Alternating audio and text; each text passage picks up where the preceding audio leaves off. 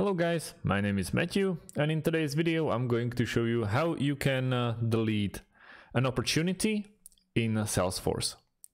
It's actually very easy and uh, basically also intuitive, but I'm going to show you.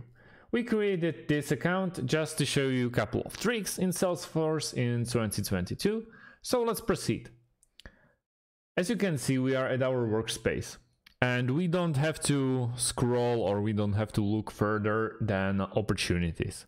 At the moment, when we click on uh, the opportunities window, we have this little arrow aiming downwards and we have new opportunity or already added opportunities.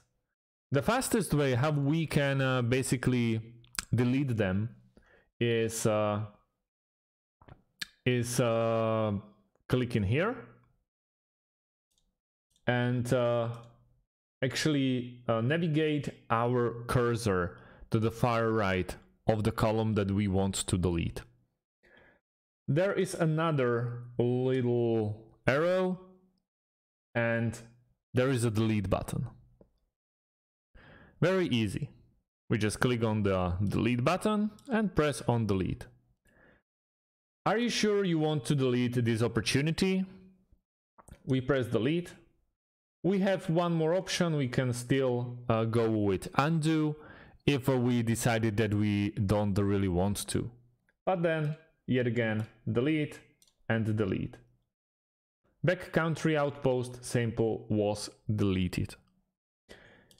We don't have to do it uh, one by one. We can do it um, uh, with bulk. But uh, in some point you will have to uh, do it. So we can obviously edit the name, edit the account uh, name, edit the stage, also close date and everything in there, but then we can even edit it straight away or change the owner. As you can see, there's only one in this uh, in this account so it's gotta be me but uh, if you have more employees and you want to really transfer the rights of uh, of uh, moving uh, this burden to someone else you can easily do it or simply delete it and just wait until this green little window perish.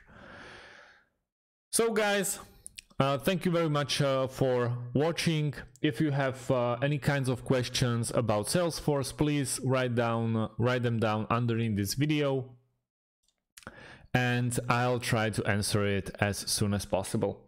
Thank you for watching. If you like the video, like and subscribe and see you in the next one. Have a great day.